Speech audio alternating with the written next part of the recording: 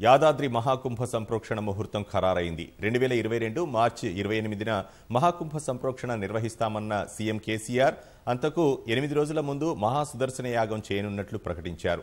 మహాకుంభ సంప్రోక్షణ కోసం వివిధ పీఠాలకు ఆహ్వానం పలుకుతామని తెలిపారు. మహాకుంభ సంప్రోక్షణ ముహూర్తం చినజీయర్ స్వామి నిర్ణయించారన్నారు.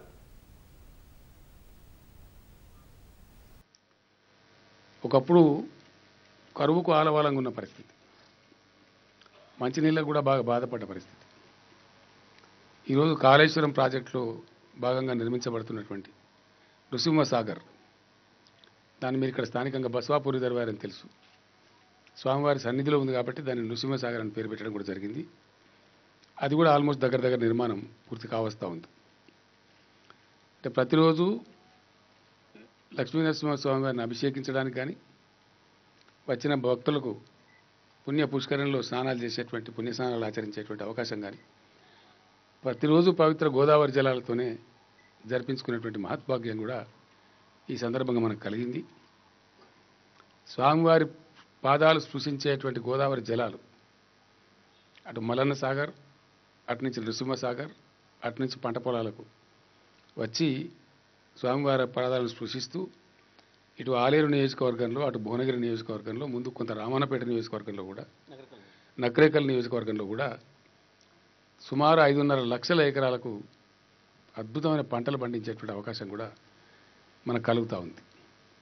ఇదంతా కూడా స్వామివారి దయగా మేము భావిస్తూ ఉన్నాం. ఇది ఆలయ ప్రతిష్ట కాదు కాబట్టి ఆల్రెడీ ఉన్నటువంటి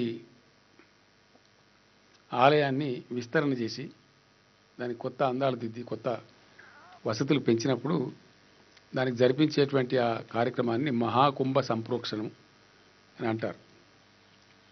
మహాకుంభ సంప్రోక్షణ ముహూర్తం తేదీ ఇరవై ఎనిమిది మూడు ఇరవై ఒకటి. ఇరవై ఒకటి అవుద్దా ఇరవై రెండు అవుద్దా ఇది? ఇరవై రెండుకు పోతుంది ఇయర్ చేంజ్ అవుతుంది. సో మార్చిలో ఇరవై ఎనిమిదవ తేదీ ఆ మహాకుంభ సంప్రోక్షణ అనేది ప్రారంభమైంది. అంతకు ముందే దాదాపు ఎనిమిది తొమ్మిది రోజుల ముందు అంకురార్పణ జరుగుతుంది. ఈ మహాసుదర్శన యాగం అనేది కూడా ఎనిమిది రోజుల ముందే ప్రారంభమైంది. సంప్రోక్షణ మాత్రం ఇరవై ఎనిమిది రోజున జరుగుతుంది. ఇది ఎట్లా నిర్ణయిస్తారంటే దీనికి అనేకమైన విషయాలు ఉంటాయి. సంక్రాంతికి ముందు జరపడానికి వీలు కాదు. దక్షిణాయన కాలం. డెఫినెట్గా ఉత్తరాయణంలో జరగాలి.